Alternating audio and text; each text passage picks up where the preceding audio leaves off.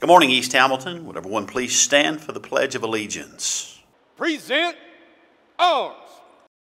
I pledge allegiance to the flag of the United States of America and to the republic for which it stands, one nation, under God, indivisible, with liberty and justice for all. Thank you, and please remain standing for a moment of silence.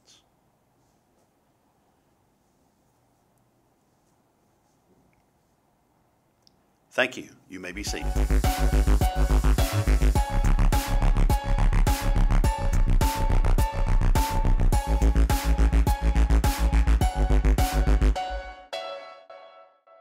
Welcome to Otis in the AM. I'm Emma Mountain. And I'm Madison Ackland. This week is National School Counseling Week. Here at East Hamilton, we have four of the very best. Miss Varnell is the 9th grade counselor, Miss Seabach is the 10th grade counselor, Miss Sina is the 11th grade counselor, and Mr. Clark is the 12th grade counselor. Each day this week, we will highlight a counselor and get to know them more. On Wednesday, we will have Just Like One of Your School Counselors Day. Go to the Counseling Center to show the counselor that you dress like them and receive some chocolate while you're there.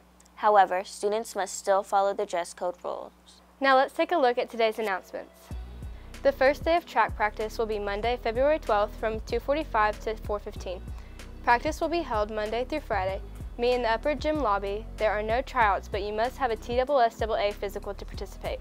Physical forms and other info about the team can be found on the team's website.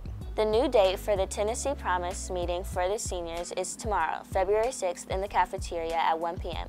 Students planning to attend college using the Tennessee Promise Scholarship money are required to go to the meeting. Please see Dr. Ellis for more information. HOSA will be selling pizza tomorrow during lunch. Grab a slice and help support our canes. High school cheer tryouts for the 2024 to 2025 school year will be right after spring break. Pick up a cheer packet from Mrs. Stewart in the front office if you are interested in trying out. Don't forget to vote for class superlatives for this year's yearbook. QR codes are posted around the school and online.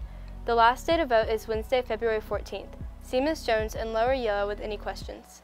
Here's a look at the upcoming events. Tomorrow, basketball will host Bradley Central, JV boys at 4.30, girls varsity at 6, followed by the boys at 7.30. The theme is beach attire. We hope you have a great week. And thank you for watching Otis, Otis in the AM. AM.